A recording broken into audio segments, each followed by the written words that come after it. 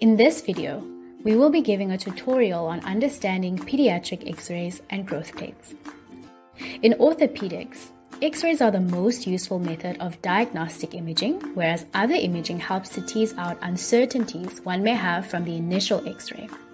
An important point one needs to always consider when interpreting any orthopedic x ray is whether the x ray is of a child or an adult, because pediatric x rays differ from adult x rays.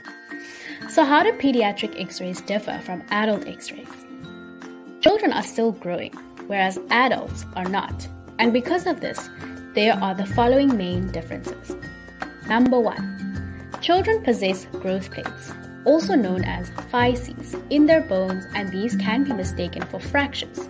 So, a contralateral x ray is useful if uncertain. In general, growth plates close at age 14 in girls and age 16 in boys.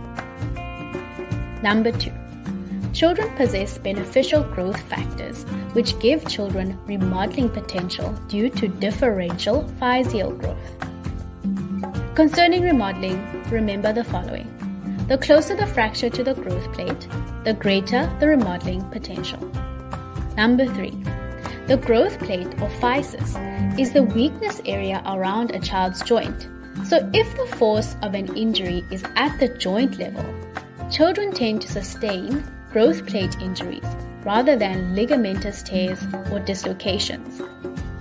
Growth plate injuries are important because they occur in typical patterns and so are described according to a special classification system called the Salter Harris classification, and these can be appreciated on an x ray. The word Salter can be used to easily remember the Salter Harris classification. 1 for straight across, 2 for above, that is through the metaphysis 3 for lower, that is through the epiphysis. 4 for through everything, that is through the metaphysis and epiphysis. And 5 for crush. This classification has implications on the management and prognosis of the fracture. Lastly, number 4. Children's bones are softer and pliable meaning they bend and not so much break. Therefore, in children's x rays, you will see more green stick and buckle fractures. Let's take a look at how these four concepts can be recognized on pediatric x rays. This x ray shows a frontal and lateral view of the patient's left ankle.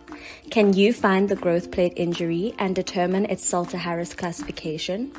Pause the video now if you'd like to give it a go.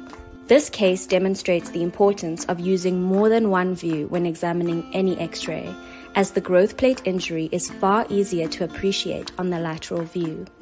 The fracture extends through the growth plate and into the metaphysis, but spares the epiphysis, making it a type 2 Salter Harris injury. Can you find the pathology in this x ray? Pause the video now. Once again, this is a type 2 Salter Harris injury with a buckle fracture of the distal radius. What about this x ray? Pause the video now to find and classify the pathology. This one may be a little tricky, but the radial epiphysis has completely dissociated from the metaphysis and now lies here. The epiphysis and metaphysis both seem to be spared, however, making this a type 1 Salter Harris injury. So, what have we learned?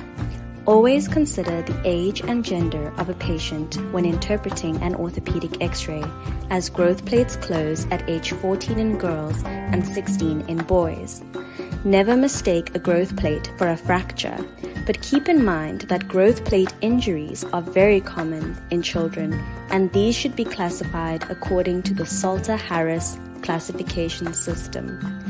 Keep a lookout for green stick and buckle fractures in the pliable bones of children as well. Thanks for watching.